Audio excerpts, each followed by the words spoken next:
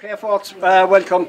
Uh, welcome, President Dinny, Lady Captain Joan, um, Captain for 2020, Joe Liston, and President for 2020, Tommy Greaney. Um, we're here to finally be able to present our prizes through no fault of our own. Um, it has come down, come, come out this far. Um, so Tommy will be up first. Tommy is a huge Tommy's the driving force behind fundraising in the club, especially the, his pet is the club classic, and Tommy does massive work on that. As well as that, anytime Tommy is called upon for the for volunteer work out the course, Tommy's first there with his dodgy strimmer, um, and he's usually last to leave. So, without further ado, I get out of the way and hand you off to Tommy. Captain Paddy, uh, Lady Captain Joan, uh, President Dennis, last year's Captain John Liston, and last year's President Bryce Gannon. I'd like to welcome you all here tonight. Uh, it's a it's a great honour for me to have uh, got this uh, thing. And it's not every day that a Newcastle man hands a, a jersey over to their Cairns man, but the work that the man that has done before me is unbelievable. Bryce Gannon has done everything in this club. Underage, there's a young fellas, a lot of people playing golf here, and it's all down to that man the amount of work he has done, I must say, is it's incredible, and it's a great honour for me that uh, Brian gave me over this, and I'd like to thank you very much, Brian, for giving me the, the honour. now, uh, as I said, uh, thanks to everyone, all the committees, and uh, the pro shop. Uh, thank them all for all the work they do for uh, all during the year. Now, I'd, I'd like to thank uh, Barry Gown for the water last year, Dennis for the fruit, Brian Hickey for the confectionery, all the core staff and the volunteers, as I said, and Ian Derry and the pro shop.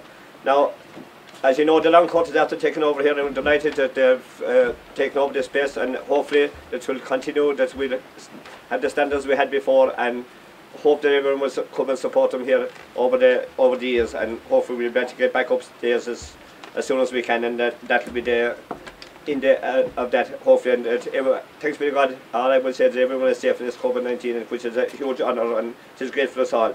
So without further ado lads I'll, I'll get on with the prizes. Anyway uh, I'd like to call on uh, the day's winner is uh, Joe Scanlon. Huh? no. That's for later. Yeah.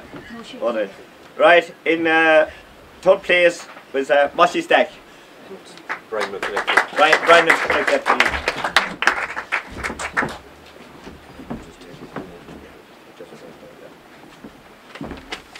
Uh, in uh, Rose that day was uh, Thomas Sexton. And Thomas.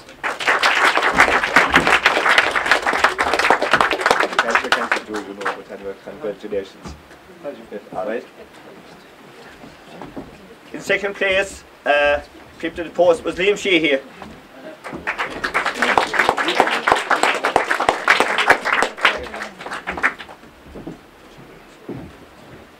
Hi, Liam. Liam. Right.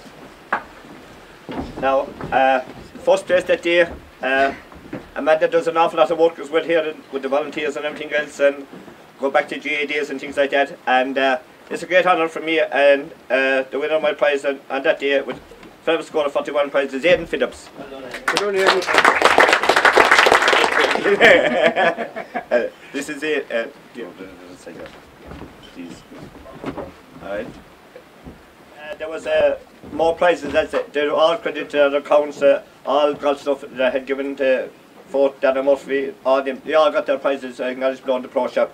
So on behalf and everyone else, I'm, I was, as I said, I was deeply honoured. And I just, I have one last thing to say. I'd like to thank Alistair. There's nothing about him, but he does an awful lot of work. He has everything organised, and I'd like to thank him for everything he's done over uh, for my prizes and for this weekend as well. So, lads, thank you all very much. We'll talk to you again.